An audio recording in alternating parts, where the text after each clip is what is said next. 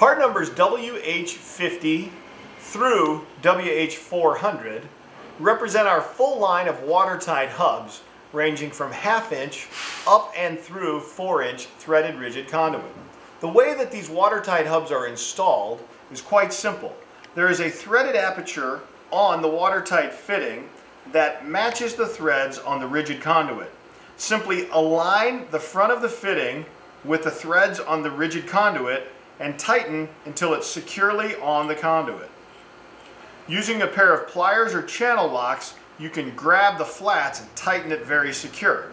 Once that's in place, simply remove the die-cast oversized lock nut, but be sure that the rubber O-ring that creates the watertight seal remains on the body of the fitting that is attached to the pipe.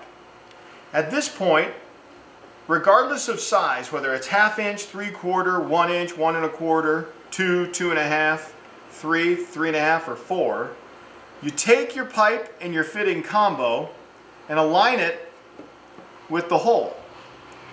Once you place it on the hole, it's important now to make sure that you get the lock nut secured on the inside of the box.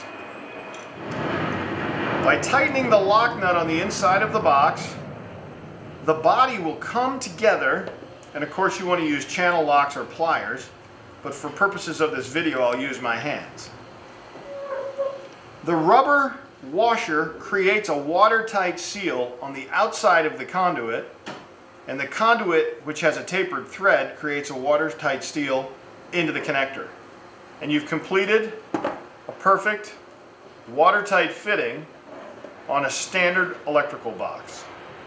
These may also be used with weather-tight boxes, but you don't need the inner lock nut because the holes on a weatherproof box are already threaded. So you simply tighten it in and ensure that that rubber ensure that the rubber sealing O-ring remains in place on the body of the fitting. For these and other great products, be sure to visit us online at garvinindustries.com.